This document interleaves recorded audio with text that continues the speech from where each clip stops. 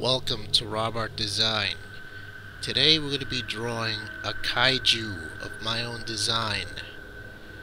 This kaiju right here is something I came up with and we're going to show it to you in a sped up version because I know that you don't want to spend 35 minutes watching me draw this. Maybe you do. Anyway, the circle that I started was to pretty much figure out where the head was going to land. Once I did that, I didn't need to make any other lines. I started with the eye, and then the teeth, and the tongue, and now I'm drawing the lips stretched around the mouth. Now, like I was saying before, this video in real time took me about 30 minutes to do. That's because I didn't just do the line drawing, but I'm also going to do the shadowing inside. So right now I'm doing the line drawing. I'm doing a garden of spikes on his head to give it that menacing look.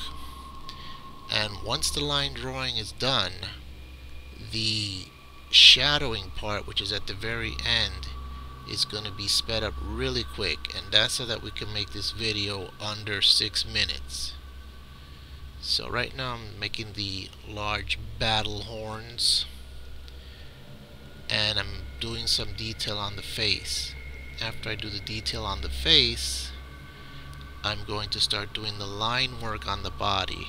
Now it's pretty much like the line work of a illustration for a comic book or something. But the difference with this is that after I finish the line work, I'm going to finish it off with some shading, dark grays to white. This is the hump on its back, and I'm drawing the shoulders and the shoulder muscle.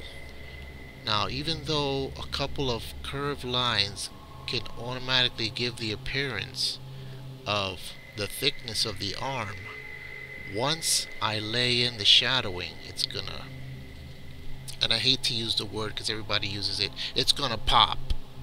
Okay. Now, here are the hands. The hands is in an agitated position, just about to clench into fists. You usually get your either clenched fist monster or your open clawed monster. This guy, he's about to clench it into a fist so you could you know see the drama in the in the drawing.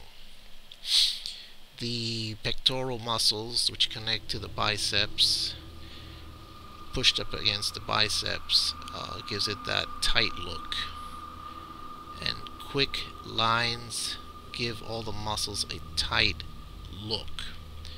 Now I'm going to do a couple of more uh, lines and then I'm going to go right into the shading.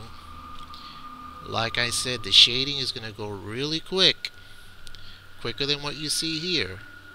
And that's because you do not want to be here for 10 20 30 minutes watching me do this. If you do let me know. If you don't let me know.